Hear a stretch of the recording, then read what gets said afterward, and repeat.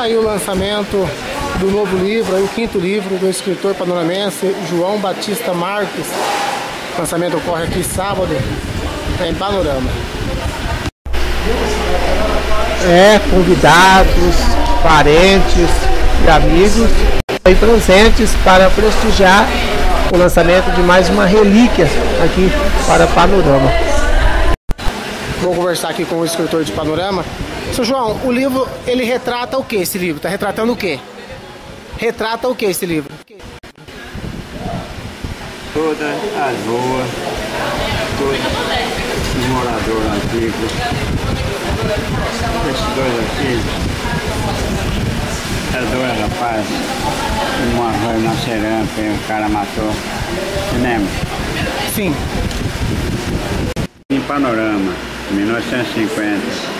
Nossa. Ali da, na rodoviária para baixo aqui. Hum. Era um hotel em cima da linha. Depois tiraram o hotel para chegar ali.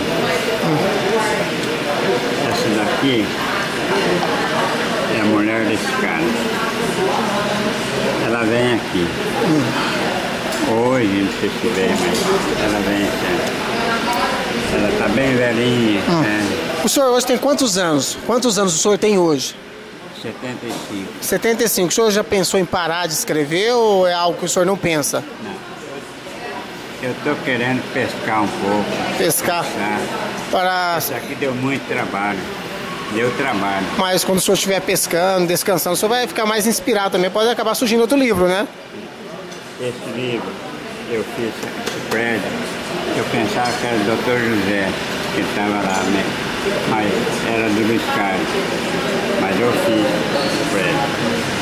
O porvir agora, o porvir é o futuro. Então o senhor, o senhor já está vislumbrando o panorama no futuro, né? O porvir é agora. O que eu andei atrás dessa rua, procurando e tal, deu para esperar. O porvir é agora. Não tem o porvir para frente. Agora tá. Saiba quem foi que criou a frase Panorama, o mais belo pôr do sol. A frase foi título de um dos livros do escritor. Panorama Mar Pôr do Sol. Eu inspirei nesse camarada. Quem que é esse camarada aqui que acabou inspirando nesse Ele é livro? então? irmão do, do Zé Carlos. Tibério?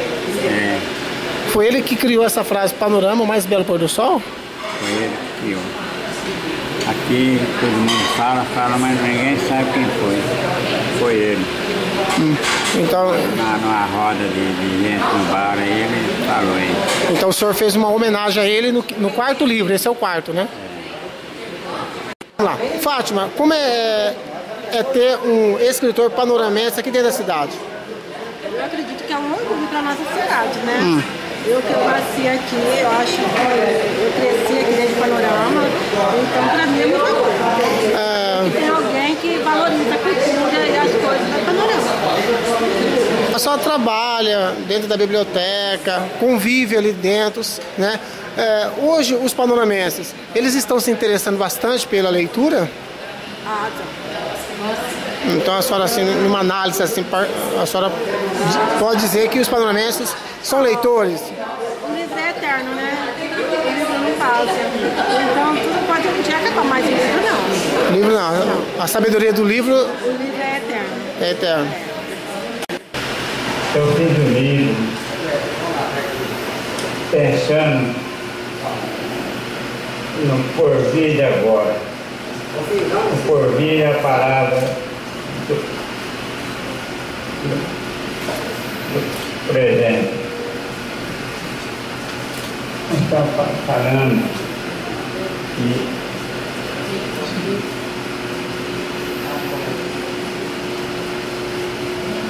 porvir é a palavra presente. Estamos falando a, a, a, a, a leva de aventureiros que criaram as ruas da cidade. Não todos aventureiros, mas muitos. Algumas mulheres também criaram um nome na, na rua. Eu fiz 134 ruas. Quase todos eu conheci. Quase todos. Alguns não conheci. Mas tem história deles. Muito muito objetivo essa parada. Eu quero agradecer as pessoas que vieram aqui.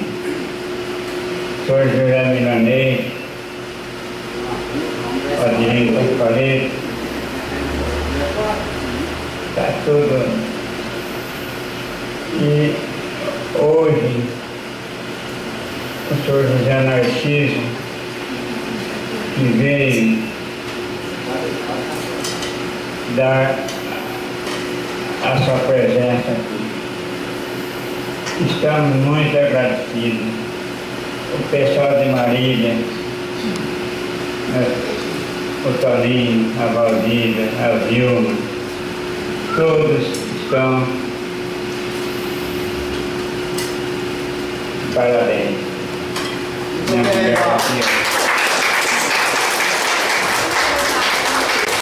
E Quero agradecer todos os meus parentes, os amigos e é só. Ao seu, ao seu, ao seu